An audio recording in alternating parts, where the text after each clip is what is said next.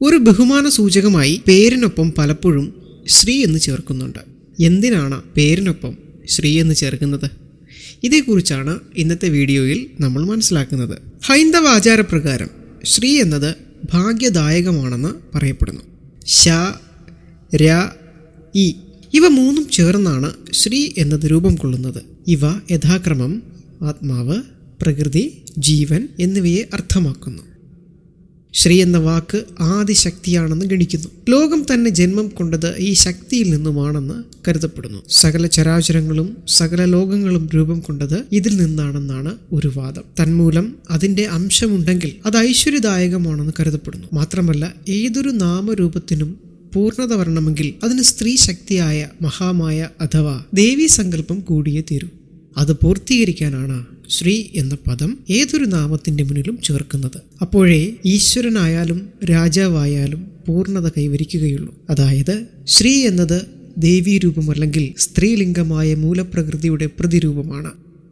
ഈശ്വരനാണെങ്കിൽ പോലും ശ്രീ എന്ന് ചേർത്ത് വിളിക്കുന്നത് ഐശ്വര്യദായകമാണത്രേ. ഉദാഹരണം ശ്രീരാമൻ ശ്രീകൃഷ്ണൻ എന്നിങ്ങനെ. അപ്പോൾ ദൈവങ്ങൾക്ക് പോലും ശക്തി വരണമെങ്കിൽ അല്ലെങ്കിൽ ഐശ്വര്യം വരണമെങ്കിൽ ശ്രീ എന്ന് മുൻപിൽ ചേർക്കണം. ഐശ്വര്യമില്ലാത്ത ദൈവത്തിനെ ആരും പ്രാർത്ഥിക്കേണ്ട കാര്യമില്ലല്ലോ. ഇവിടെ പ്രകൃതിയുടെ മറ്റൊരു നിയമമാണ് പാലിക്കപ്പെടുന്നത്. സ്ത്രീയും പുരുഷനും ചേരാതെ പൂർണതയില്ല എന്ന പ്രകൃതി സങ്കല്പം. ഒരു വ്യക്തിയെ പൂർണമാക്കുന്നത് പ്രധാനമായും അഞ്ച് കാര്യങ്ങളാണ്.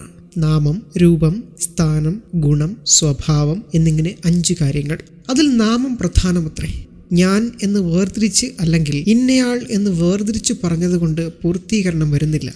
നാമരൂപാദികൾ ആത്മാവിന്റെയല്ല പ്രകൃതിയുടേതാണ്. അതുകൊണ്ട് ഒറ്റയായി നിൽക്കുന്ന നാമരൂപത്തെ പ്രകൃതി സ്വരൂപമാക്കാനാണ് ശ്രീ എന്ന് ചേർക്കുന്നത് എന്തിനും ഏതിനും സ്ത്രീ നാമധേയം ആദ്യം വരികയാണ് വേണ്ടത്. അതായത് പ്രഥമ സ്ഥാനം സ്ത്രീ ശക്തിക്കാണ്. അല്ലെങ്കിൽ പരമമായ ദേവീ ശക്തിക്കാണ്. അതില്ലെങ്കിൽ പൂർണതയില്ല. മാതാപിതാക്കൾ രാധാമാധവൻ ഗൗരി ശങ്കരൻ സീതാരാമൻ ഈ പേരുകളിലൊക്കെ തന്നെ സ്ത്രീക്ക് ആദ്യം തന്നെ പ്രാധാന്യം നൽകിയിരിക്കുന്നു. ഇതിലെല്ലാം തന്നെ പ്രഥമ സ്ഥാനം ദേവീ ശക്തിയെ കാണിക്കുന്നു.